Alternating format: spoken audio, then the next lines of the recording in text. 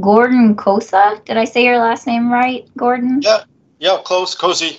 Cozy going to talk about a, a, program that we are in the course of doing um, under ARPA-E funding, and it, it's with participation from the, the Nuclear Reactor Lab, Nuclear Science and Engineering at MIT, and also from MPR Associates, one of whom is obviously familiar to you all. Charles Forsberg is involved on this one as well.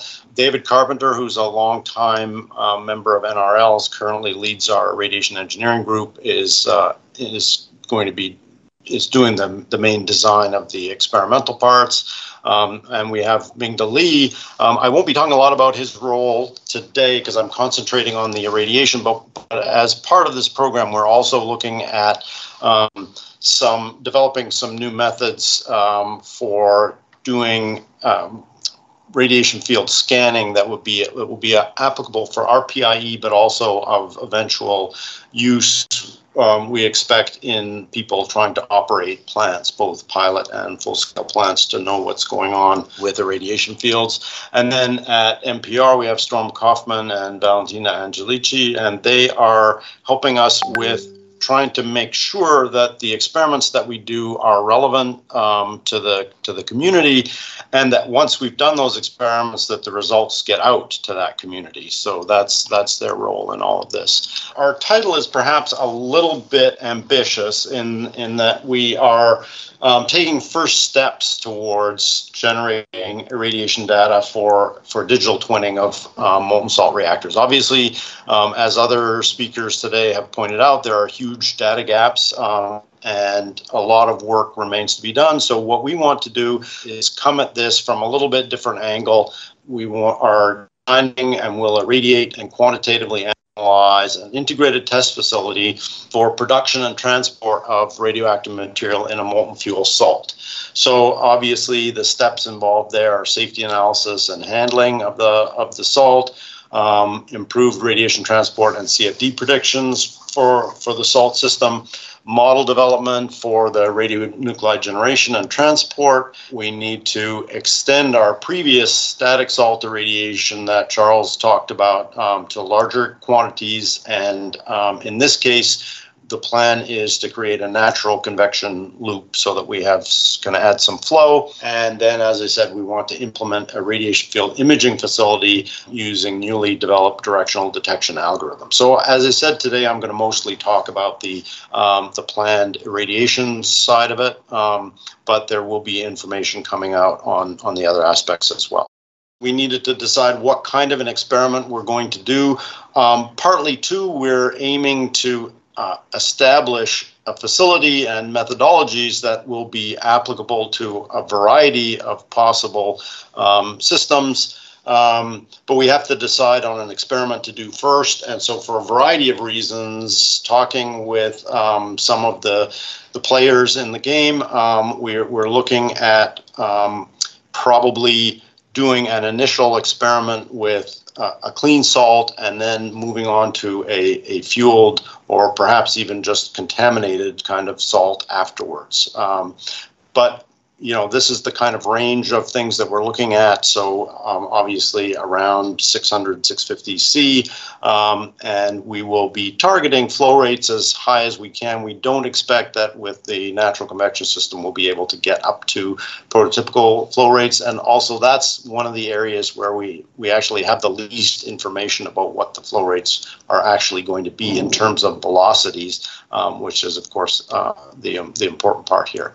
Um, but any rate, so this is sort of the the some of the information that we're looking at and deciding what to do, um, and we will be circling back um, to hear more about what what tests are of greatest interest to the community as we go along. Charles has already showed you some um, some pictures of the reactor, and I, I know some of you are probably a little bit familiar with with our research reactor. We're a, a six megawatt um, reactor operated at MIT in Cambridge. Um, and um, this so part of the part of the issue here, and we have done, um, as Charles mentioned, a number of capsule experiments in the core of the reactor, um, where we actually have uh, neutron flux and spectrum pretty close to what you would find in a light water power reactor, so very relevant for um, for power reactor kinds of experiments. The problem is that as a um, as a research reactor in the United States, we are not permitted to, or, or we have very strict controls on how we're allowed to do um, fuel experiments in the core of the reactor. So our salt experiments in the core were unfueled salt because we aren't allowed to run. Uh, we can only put in um, solid fuel in samples into the um, into the core. So the the facility that Charles described is one way around that problem. Um, and it will take a while to get that in place. In the meantime, another way around that problem is to put a, a facility into our graphite reflector region. Um, so the core is here. We have a D2O reflector and then a graphite reflector. So we have actually about um, I'll, I'll, say a little bit more about this in, in a slide or two. We have about 10 to the 13th neutrons per square centimeter and second in this area. It is almost entirely thermal. There's very little fast flux out there, as you could imagine. After going through tank of deuterium and then into the graphite, we're pretty much um, a thermal spectrum out there. But it does allow us, um, for the reasons that Charles described, to be able to use molten fuel and put um, ha have a wider range of possibilities for experiments in that region. Okay, so our irradiation position is a so-called so MIT 3GV graphite reflector position. So that's shown here, so you'll recognize, I hope this is the reactor um, core tank here, um, the, the uh, D2O reflector surrounding that, and I've taken away the, the D2O and the graphite here so that we can see um, this uh, facility that's going to be lowered down in and will operate um, at basically the reactor core midline, um, getting about 1 times 10 to the 13th neutrons per square centimeter in second. The nice part about this facility as well um, uh, compared to in-core facilities is that it is bigger. So we have about uh, six and a half centimeter maximum diameter that we can use and about 46 centimeters of active core height. Um, we will be double encapsulating the fuel salt um, to isolate direct primary off gas, um, and we'll be um, putting in a lot of local temperature monitoring and control, which I'm going to show you what that, that looks like in, in just a minute. Um, and we also have access to the area above the core, which um, the whole system is cooled, um, and that will allow us to promote natural convection flow. And so the whole idea here is to produce transport and deposit fission and activation and corrosion products so that we can see how they behave um, and plan for what that will look like eventually in a reactor. So this is what the facility is going to look like. It's pretty small and pretty simple, um, partly because the idea is to make it fairly modular so that we can easily change out these experiments to look at different materials and different salts.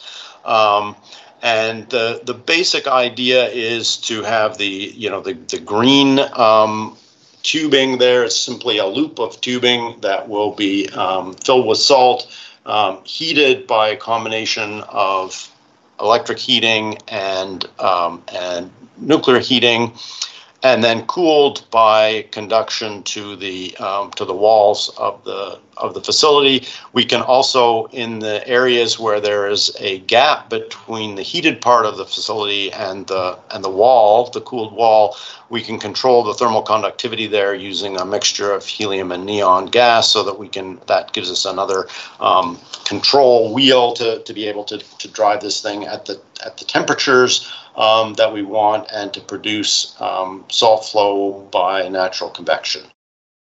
Okay, so this is just a little bit different view. Um, and so here you can see that, that the, um, you know, the facility will be centered in, um, the, you know, the, radiation capsule will be centered in the facility cooling jacket um, and will be placed in this thermal block to provide heat transfer from our heaters um, to the loop. And the, the heaters will be zoned so that we can drive the, the natural convection that, that we're looking for. So most of this, again, similar to the, the first experiment that we heard about today, um, we will be able to drive this with electric heating, and we actually will be getting a relatively small contribution um, from from nuclear heating in the once the, the reactor gets turned on. But um, as with all of these um, experiments, we do like to keep things hot, even if we have some problems and the reactor needs to go down for some reason.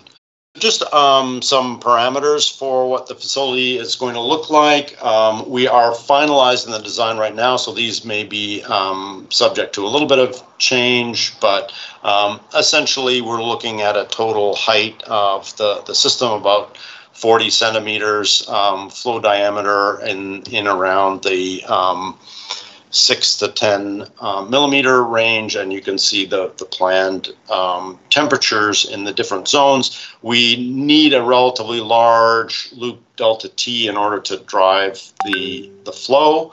Um, and we will be putting in a reasonably large salt volume at about 100 cc's. Our current plan, will, at least for the first experiment, will be to go with 316H for the wetted surfaces. And as I described um, just a minute ago, the idea is to have uh, zoned heating plus nuclear heating um, and control of the cooling through a, a graphite heat sink out to the water-cooled outer jackets, all of which would allows us to um, to drive the natural convection flow.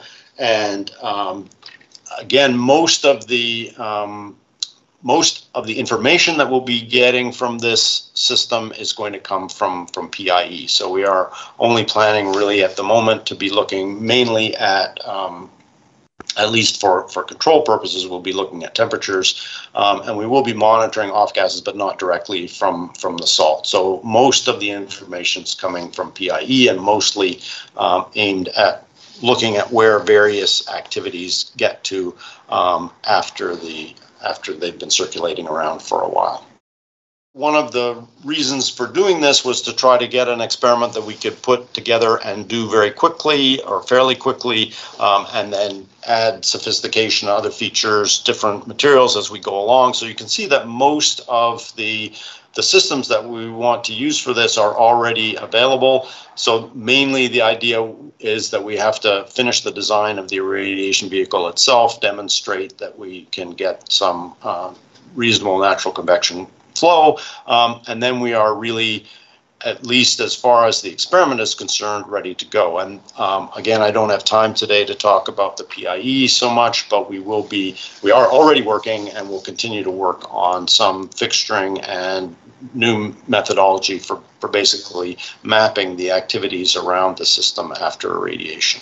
This is somewhat preliminary, um, but most likely we will do a, a, first irradiation with unfueled FLiBe salt with 316H um, and graphite components.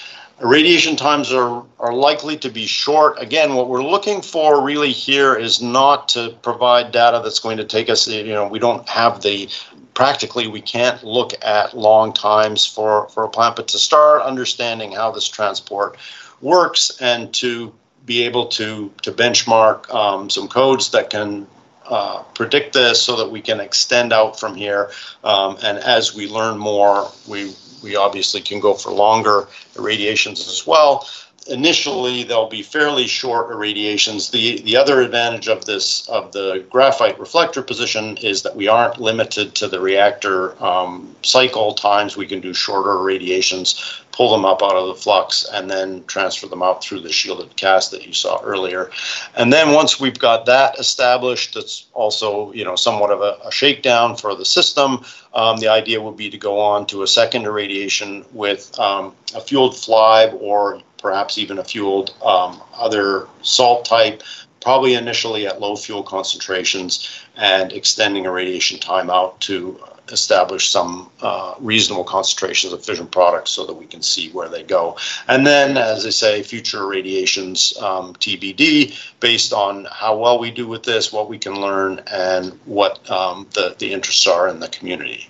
This is final thing just to um, you know, show maybe a little bit more, give you a little bit clearer idea of what some of this looks like. This is an earlier experiment that we did, one of our, our capsule irradiations, and essentially this one was designed to generate tritium in a somewhat realistic salt environment in order to look at how that um, permeated through various materials. But again, it just gives you some idea of, of what these systems look like um, and how they get down into the vertical irradiation facility. And, you know, to indicate that with um, our previous experiments, we do have some experience in, in the salt loading and removing these experiments for, for PIE and so on. And all of this is actually um, quite symbiotic with work that's going on on the, the system that Charles described. And also, we are working with Commonwealth Fusion Systems um, that, that as, as Charles said, are using planning to use FLiBe as a as a blanket for their fusion design and so we're trying to pool our technological resources as much as possible in those areas so i think with that i will conclude Thank you, Gordon. Uh, I, I like how you're really taking your experiment and, and going back to the mod sim and, and showing the importance of doing both. So I, I think that this will be a really impactful study.